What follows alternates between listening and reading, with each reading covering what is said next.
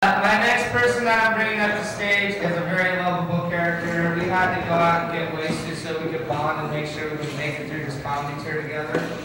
Now this guy has the hair of Elvis, the charm of John Candy from Uncle Buck, and the voice of Johnny Cash on karaoke. I would love to introduce my lovable friend, Dylan.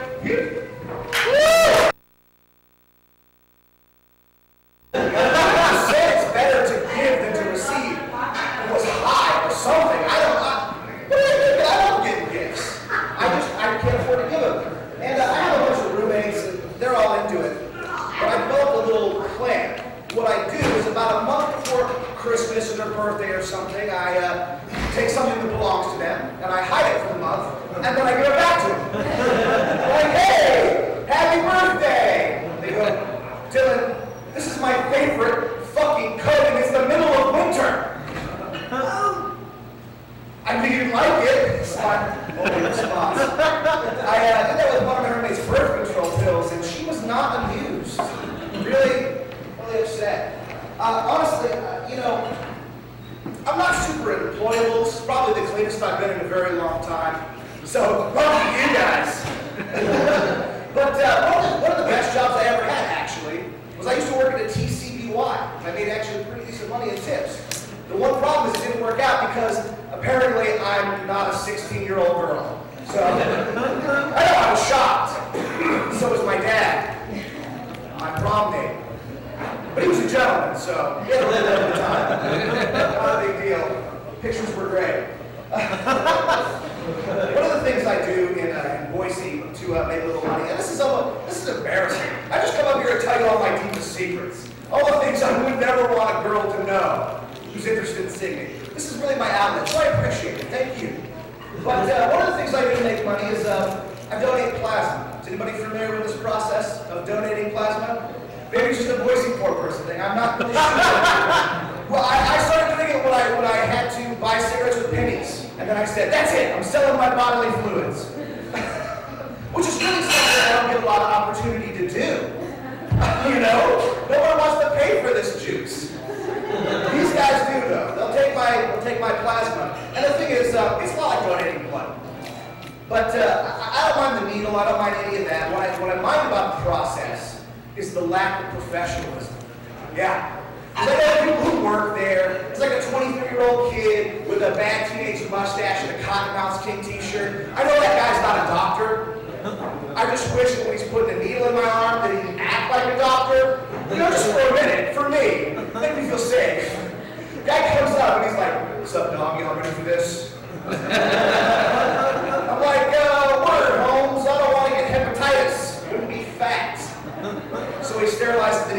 And we get it on. oh my God. Oh man, like I said, I, I have a lot of roommates and, um, and, and, you know, we're, we're your normal drunks. We're pretty dirty. Our place is gross. I don't even know how we get. You guys ever have mystery stains in your apartment?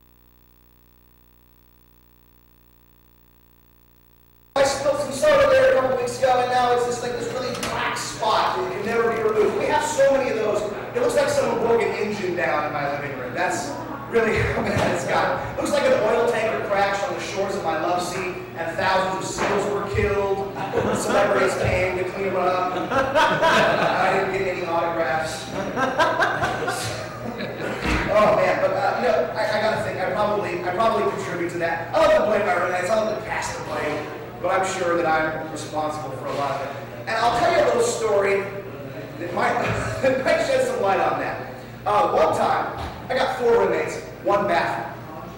It, it, it can be, it can be, uh, it can be an issue in the mornings. Um, I wake up, of course, I'm already 15 minutes late for work. I'm hungover. I gotta go to the bathroom. My roommate's gonna take a shower. We have one of those see-through shower curtains. I don't know why it was free. Um, so I'm not going in there. That's gay. So uh, I go to the sink to be in the sink naturally, but it's full of my dishes. And I'm not gonna pee on my dishes. I'm sorry. I'm just not ready to sit there yet. Maybe a little while, but just not yet. So I find this cup in the trash pile of my house. Yeah, there's a trash pile composting in my apartment. Um, and I hide behind my roommate's CD rack to relieve myself before I have to go to work. And about halfway through filling this cup up, I realized someone had burned a cigarette hole in the side of this Taco Bell cup. So it starts spraying out onto my roommate's CD from this hole that I have to plug, and the but they, were R. Kelly CDs, so I figured that was kind of like poetic justice, right? He pees on people. Uh, so anyway, so I plug the cup up, I fill it, I put the cap on. I live in an apartment building. Of course, naturally, I live on the sixth floor. I got to ride the elevator all the way down, holding this cup with my neighbors, which is just another thing to add to my shame book. Um, because the smell, you know, no one would notice it was just a Taco Bell cup that happened to be dripping a little bit from the cigarette hole. But uh, the smell was sort of like, um, you guys are familiar with eating asparagus, right? Yeah, sort of like that, mixed with a night of heavy drinking. awesome! In the confined elevator.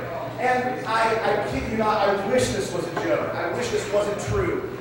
But on the second floor, the bottom of this cup, this wax paper cup, was so soggy, it fell out. So that's why I take the stairs down. Only go down, but going up, I'm still too lazy. I don't want to carry her into my apartment. I mean, much. You know, once in a blue moon, who doesn't, right? Oh. So, with that story in mind, probably some of those stains on my carpet might fall. Oh well. Oh, so, um, so, I was reading this article on the internet, and uh, this couple wanted to immigrate to New Zealand, a man and his wife, and they're both pretty heavy people, about equally heavy. And the man is allowed to immigrate, but the woman is not allowed to immigrate because they thought that should be a drain on their national health care. And um, also, in a related story, New Zealand just changed their flag to a t-shirt that says no fat chicks. So, honestly, they say, it's a, they say it's about socialized healthcare. They say, hey, you know, we can't have these people being a drain on our economy, but I think it's actually from the influx of Lord of the Ring nerds. that are invasive. Trust me, I'm fat, I'm a nerd, and I would totally go there. And I think that's their strategy to turn us away. And that's smart thinking. That's smart politics. Yeah, politicking. that's right.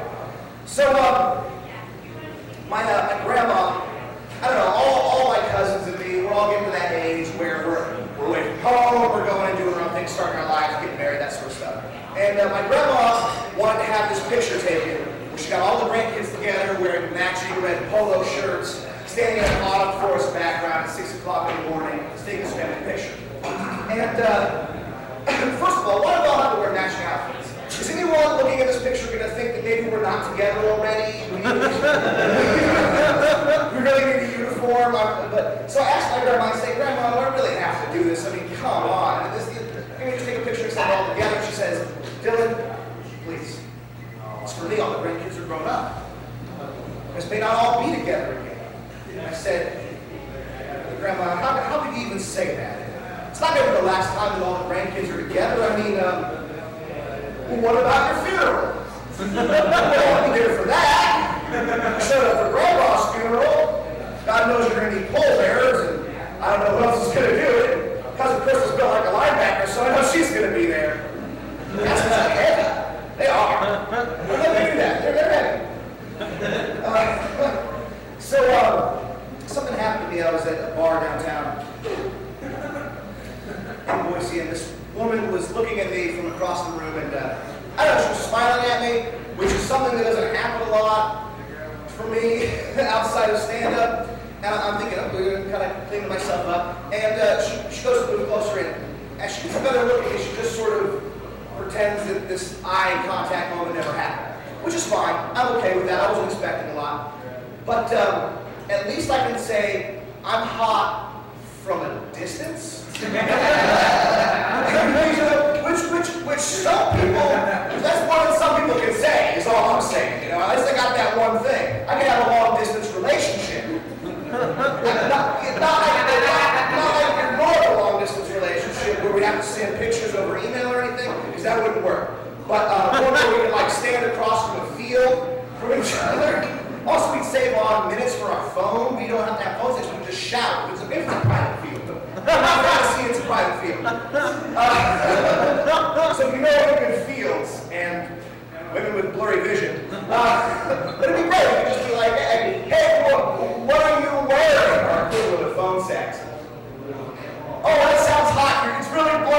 over here, but I think it would work out. I think it would. Um, speaking of relationships, sex. It's wrong to have sex with dead people. That's right. Fact. Fact. I know this. I didn't raise no fool. But let me ask you a question. And here's where I think the line sort of gets blurry, if you'll go with me. Is it still wrong if, um, if they were alive when you initially started?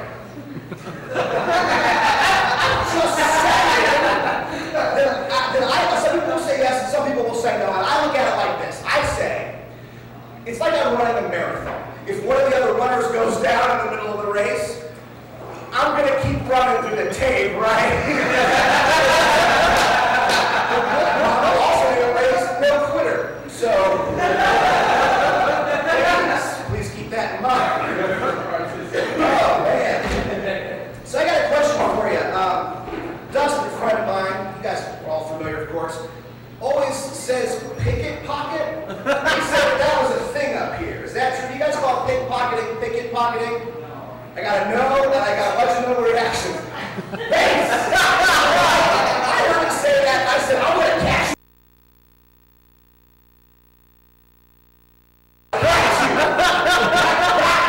You know how much that works outside to No, I can say it everywhere. You, you are sullying these people's reputation. They say pickpocket, damn it. I'll stand for it, and you're lucky they will. Rise up! Well, give them that just sort of. I'm getting all worked up here. You don't want to see that. God. Oh, excuse me. I'm gonna take it down a notch. Woo! Getting hot. I'm sorry, Dustin, but you know, I'm very heated about it. Something that I hold near and dear to my heart. Um, I was watching this commercial, infomercial really, for this thing called the Rascal. Anybody familiar with this? The Rascal? No? Okay, so for those of you who aren't, it's um, it's an electric wheelchair, but not really a wheelchair. It's a wheelchair for people who don't need wheelchairs. people who couldn't get a medical device, but just don't want to walk. And um, first of all, this thing, like the way they advertise it, like for the movement impaired, how insulting is it to call this thing the rascal?